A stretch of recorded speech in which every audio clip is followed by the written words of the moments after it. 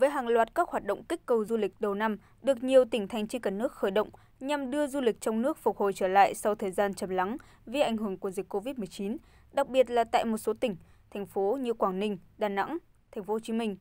Tại Quảng Ninh đã mở cửa thí điểm hoạt động du lịch nội tỉnh từ ngày 2 tháng 3, chính thức mở cửa đón khách nội địa trở lại từ ngày 11 tháng 3, ngay sau khi kiểm soát được dịch Covid-19. Trong những ngày cuối tuần, lượng khách du lịch đến với Quảng Ninh đã tăng cao gấp 3 đến 5 lần so với thời điểm chưa có dịch Covid-19.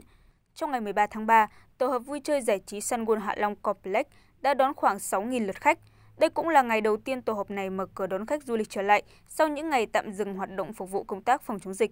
Còn tại Đà Nẵng, mặc dù dịch bệnh COVID-19 đã tác động rất lớn đến ngành dịch vụ, du lịch trên địa bàn thành phố, thế nhưng ngay những ngày đầu năm, Sở Du lịch thành phố Đà Nẵng đã tổ chức hội nghị triển khai kế hoạch năm 2021 với mục đích triển khai kế hoạch khôi phục hoạt động du lịch và kích cầu năm 2021. Trong đó tập trung thu hút khách du lịch nội địa, cũng như triển khai phương án đón và phục vụ khách quốc tế trong trạng thái bình thường mới khi chính phủ cho phép xây dựng và tổ chức thực hiện kế hoạch truyền thông, xúc tiến quảng bá điểm đến Đà Nẵng giai đoạn 2021-2022, kế hoạch liên kết hợp tác phát triển du lịch, nhưng vẫn không quên tập trung triển khai công tác phòng chống dịch trong hoạt động du lịch, phối hợp chặt chẽ với các sở ban ngành địa phương, hướng dẫn và kiểm tra việc duy trì thực hiện thường xuyên các biện pháp phòng chống dịch COVID-19 tại tất cả các cơ sở dịch vụ phục vụ du lịch trên địa bàn thành phố để góp phần giữ gìn điểm đến an toàn.